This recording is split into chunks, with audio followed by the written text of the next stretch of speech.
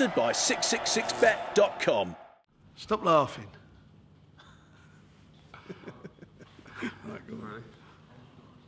This is Kugan Cassius for the Cassius and Helder show here on Box Nation. With me, I've got promoter Frank Warren. Well, Frank, the press conference was done today, and uh, Mr. Eubank turned up, and well, it was all right in the end. Yeah, we got there in the end. It took a long time. It's a shame, really, because it'd been nice to, you know, it's, you know, I, like to hear the two guys. I don't know about you. I mean, I know the fans do. I like to hear them talk, what they've got to say about each other, what they, you know, what they're going to say about the fight, and it adds to the drama. It adds to the, you know, the build-up and the promotion of it all. And that's the business we're in, promotion after all. And uh, it was good, as you say, to, to see them together.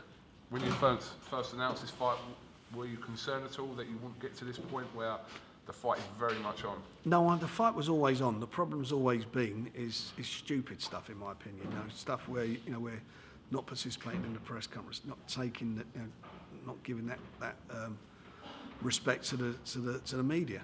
That that's what what has been the problem, and all the nonsense about you know people slapping each other. That's why we're not going to press conference. When in the end, he shows up on his own. Go figure. Can't tell what's going to happen. Um, how was the tension up there on the top table? Obviously, you had one man to the left, one man to the right. You were banging in the middle, Frank. Uh, well, you know, you, I'd just like to.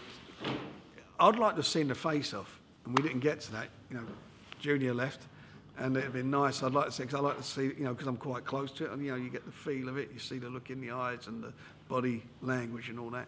Um, they're both very, very confident, and they're both very, very fit. They've trained hard for this fight. There's no doubt. I've never seen Bill in such shape, and he's focused. And, and I think Bill, when he gets a, when he gets a fight where um, you know, where, where it's always seemed to be a tough fight for him, like that Jarrod Fletcher fight. He was an underdog. Went in there, done the business.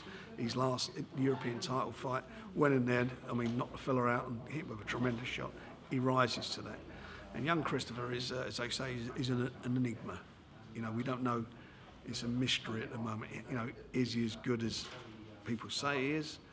You know, can he? Is this a step too far? Is he too young for this? You know, he's not like he's had. He's not like he's had the preparation that Bill's had and the fighters that Bill's fought over the last um, few years. Bill's, I think, his last four or five fights all been undefeated fighters, all title fights.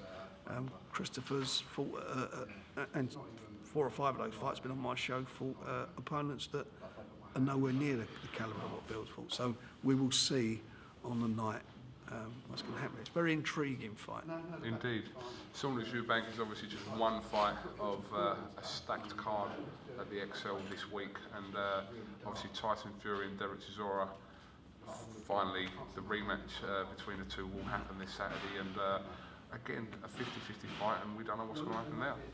No, we don't, and I think that's what's what's so good about this show. And they're good, you know, they are good fights, and they're meaningful fights. This is not some, you know, building up some nonsense grudge match. This is what this is about. Is about the winners those two fights. The, you know, uh, the, uh, fight and Tyson's fight, and Bill and Chris Jr. Both of them are final eliminators to fight for the world title. So they're, you know, it's not just the fight that's going to be so, so exciting. It's where they go from, where it projects them you know, the, it builds up the next 2015, early 2015. You're going to see the winners in world title fights, and it don't get no better than that. So, you know, these are, you know, these are real. These are football's equivalent of, you know, their semi-finals for the cup ties, and it's the best of the best of British. British guys fighting. Who's the, you know, who, who's the best? We're going to find out. Also on the card, um, Bradley Skeeton Frank Gavin, another intriguing clash at welterweight. Um, obviously was at the press conference a few weeks ago and um, an interesting fight, Frank.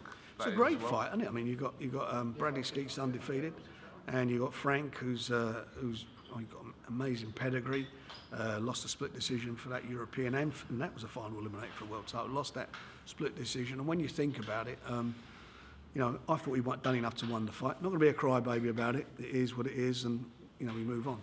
Um, Bradley obviously fancies the job now. He may have seen a chink in his armour and he's, you know, in, in, the, in the fight that he lost.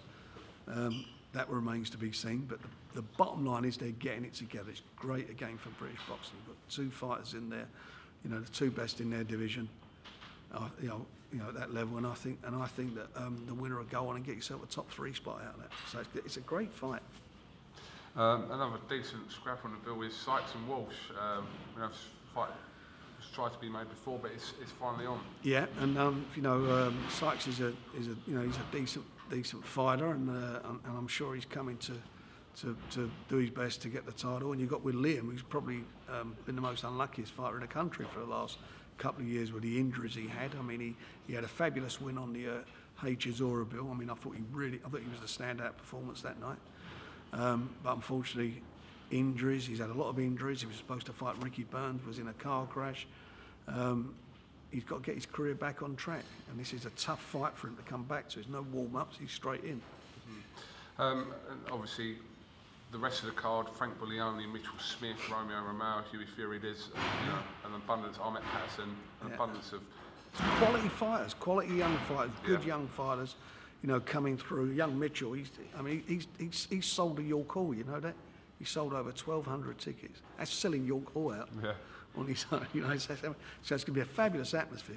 Frank Buglioni, the same. These guys have all sold a lot of tickets, so the atmosphere is going to be fantastic for their, you know, their respective supporters. It's going to be, it's going to be brilliant. Uh, we obviously understand that, that the ticket allocation is very, very close to selling out. Yeah. What is the crowd going to be, Um, we will wind up it with a full capacity. We're trying to we're trying to get some more seats released, and we have to deal with that with the with the venue and the local forest. The problem is it's a re- it's not a, it's a rectangular building, so it's making sure that the seats that if we can get seats in, that people can actually get a good good view of the action.